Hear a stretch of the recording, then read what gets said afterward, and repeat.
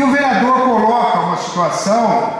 que tem me preocupado nos últimos dias, não só a mim, mas eu acredito a grande maioria dos vereadores desta casa. Vereadores esses que têm sido procurados por funcionários, principalmente funcionários públicos municipais, ligados à área de saúde do município, que estão sofrendo consideravelmente com os berros, com os gritos, com as ameaças, com o assédio que existe contra eles por uma pessoa que eu não sei de onde chegou. Talvez tivesse desembarcado de algum balão que coloriu o céu da cidade de São Carlos durante duas semanas. Se não caiu do balão, deve ter caído. Porque nós não podemos, em sã consciência, concordar que uma pessoa chegue a São Carlos que, sem ao menos ter o seu nome colocado no diário oficial do município, através de um decreto do senhor prefeito municipal,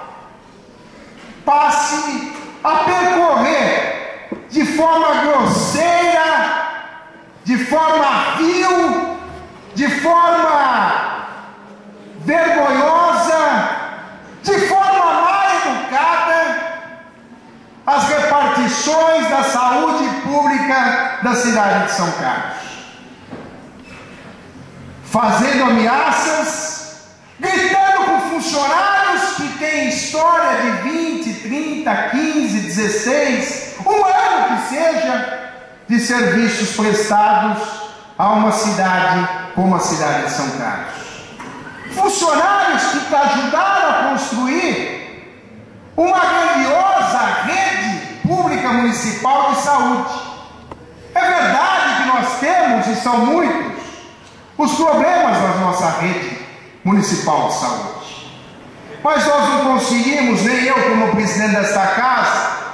nem vocês como vereadores, que são junto comigo, nem o senhor prefeito municipal, nem os nossos deputados, nem a sua excelência presidente da república, nunca vai conseguir, vereador Lineu, com ameaça a funcionário, com gritaria com funcionário, dizendo você não serve, você é novinha, você é estagiária, você vai ser colocada daqui para fora. Talvez o balão caiu também ali na rua Paulino de Abreu Sampaio,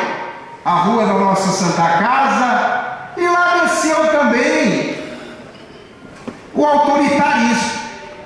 Lá desceu também alguém que chegando, sem ainda a mala e a cuia, mas chegando com sua passinha preta, lotada de prepotência, arrogância, autoritarismo, ela desceu na nossa santa casa, passa por dificuldades, que tem pessoas na maca, que tem falta de leito na UTI, mas que tem lá homens e mulheres honradas da nossa sociedade. Tem lá o Antônio Valério Morila Júnior, que é o nosso provedor, que é uma pessoa que além de ser provedor tem um importante cargo federal e é o delegado de trabalho da nossa querida São Carlos e região.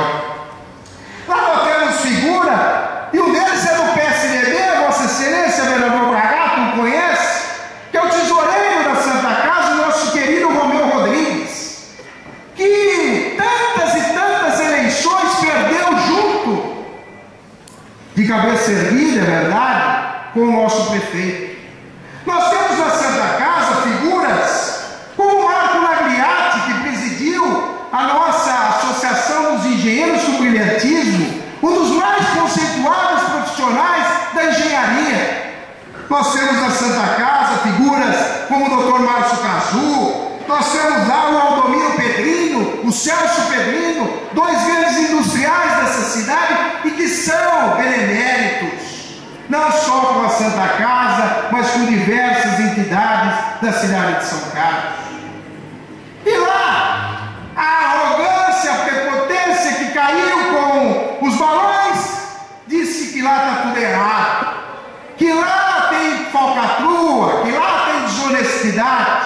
Eu quero dizer que da minha parte,